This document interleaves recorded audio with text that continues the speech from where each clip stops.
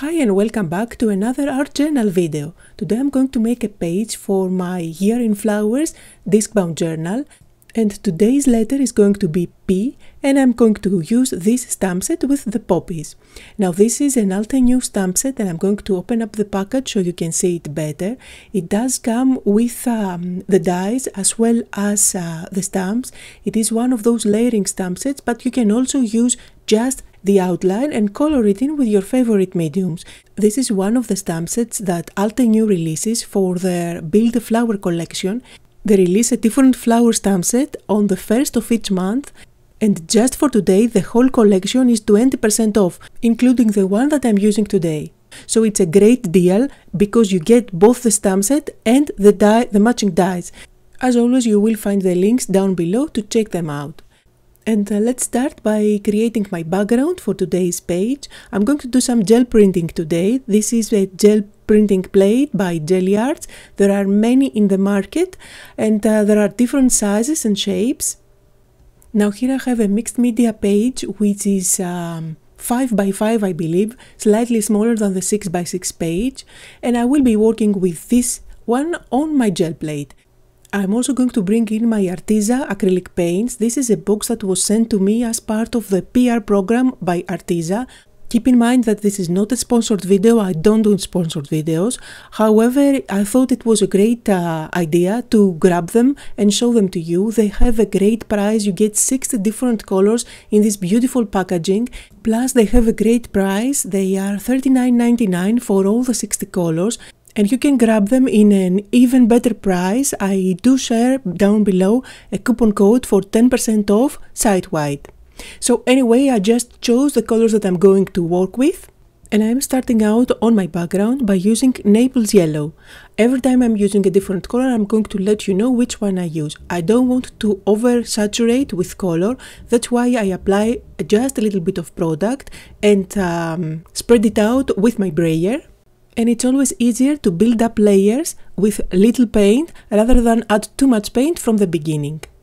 Now this is a stunning color, it's the um, Pearl Copper Gold. It does a beautiful shine, you can probably see it on my brayer now. I'm not going to cover up completely the whole background, I just want to have some copper touches at the edges of my page.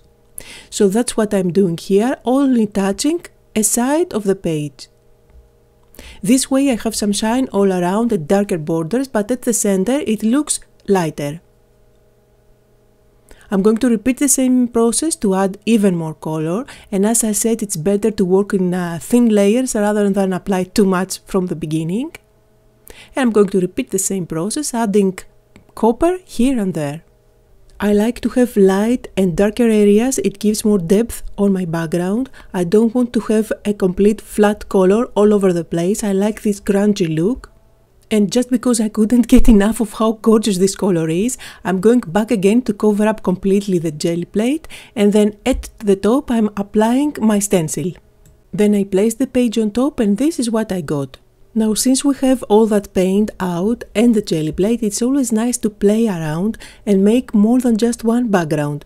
So I'm just going to use a printer paper here and pick up some of the paint that comes out from the jelly plate.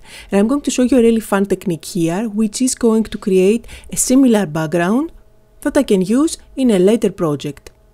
So I'm going for with a lighter color and you can see that my jelly plate is not completely clean but the paint underneath the one that I'm applying now is completely dry. So I'm going to cover it up completely, making sure that this layer is quite thin. So I'm just removing the excess. And I'm going to place on top one of my mixed media papers and pull a print.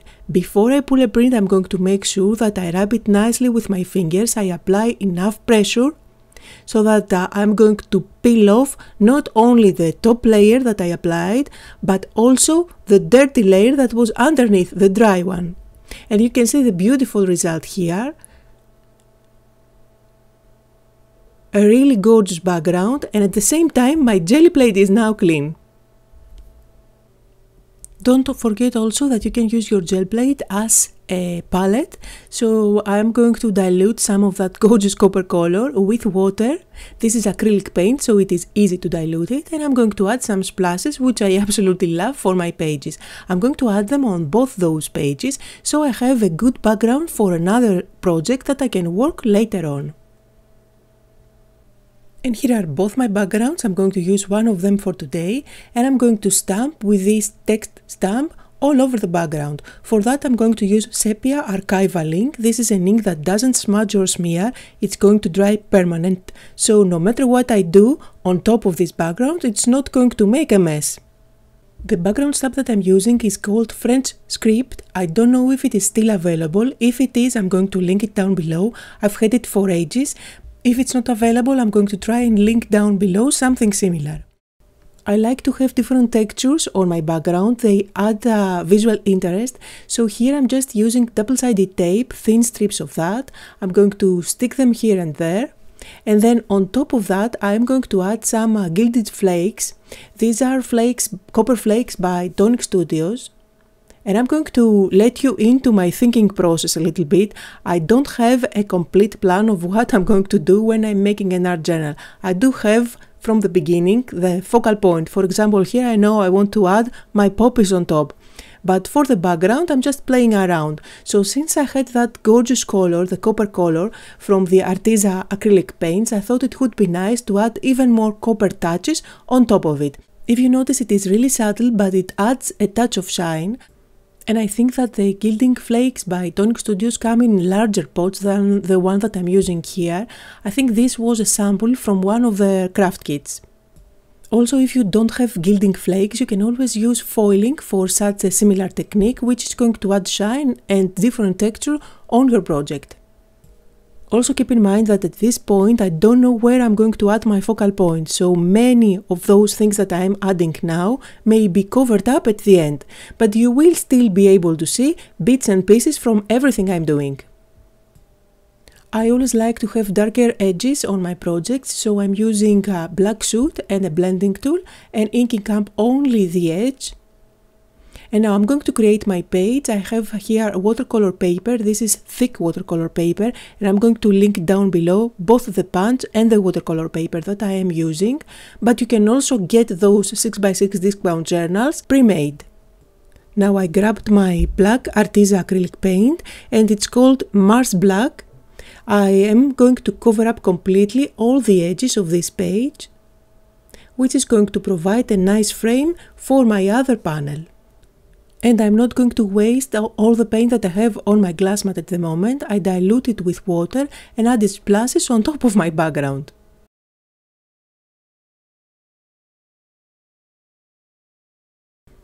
Now again I'm going back to my pearl copper gold. I am going to do some dry brushing on the edges, so I'm adding a little bit of uh, that paint on my glass mat and my brush is completely dry, no water there whatsoever. I'm going to pick up just a little bit of that medium and apply it lightly all around the black frame. The idea is to add some copper shine on the frame but not cover it up completely. I'm using my tool to distress the edges before I stick this panel on top of the other. If you don't have such a tool, you can always use your scissors to do that. I'm applying Nuvo Deluxe glue at the back, but you can use your matte medium or any type of glue that you have and stick this panel on top of the other. I'm really happy with how my background looks at the moment, so I'm just going to start working on my focal points. Back on my gel plate and I'm applying a little bit of brilliant red. I'm going to apply it all over the gel plate and then uh, pull a print. Now the idea behind this is to have similar textures on all of my elements. Since I have such a background, I like to have uh, similar imperfections on my focal points as well. So I'm not just going to cover it up completely with a brush because you will get a different look. Now I'm using black archival ink and I'm going to stamp both my poppies, a large and a smaller one. And then I'm going to use my stamping platform and I'm going to do some layering stamping. I need to add some shadows so that I can bring those poppies into life. Usually I use my big brush markers for doing that, but since I have the convenience of this stamp set, I'm just going to use the layer that adds the shading for you. I'm using a very dark red ink and uh, this is actually Grapevine by Altenew and I'm going to do that twice since uh, these shadows are really going to bring those poppies into life. Now you can use the matching dies that come in the set to cut out your flowers. I don't want to have that border around my flowers so I'm going the old way and I'm going to use my scissors to fuzzy cut it. I actually find it very satisfying to fuzzy cut things. I know that there are people that hate it but uh, it really it is really is relaxing for me. With a black marker I'm going to uh, color in those little seeds at the center. In the stamp set there are stamps for the centers that you can use with black ink, but I didn't even bother, my marker worked just fine.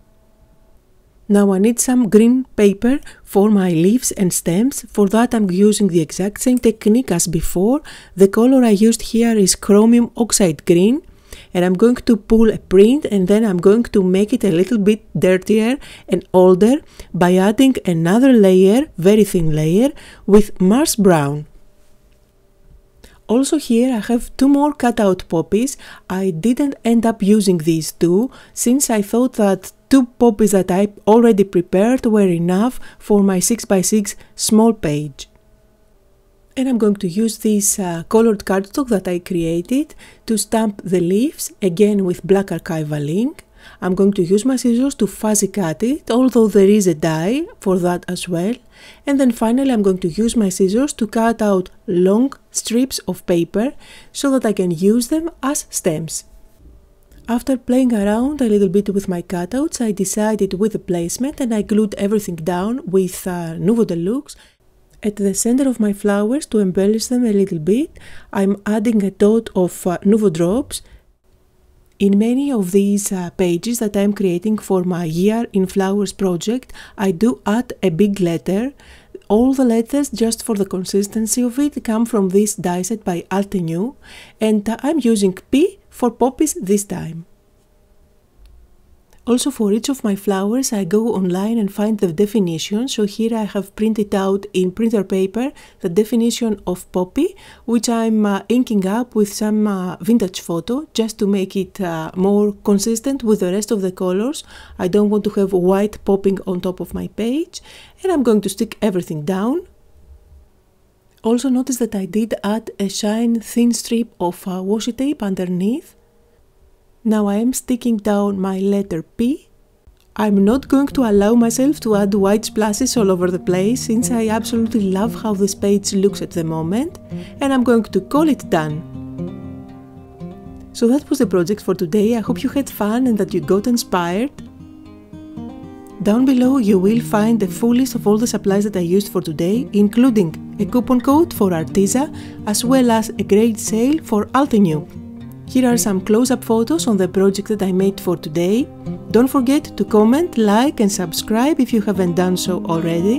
Thank you all so much for watching and have a lovely day.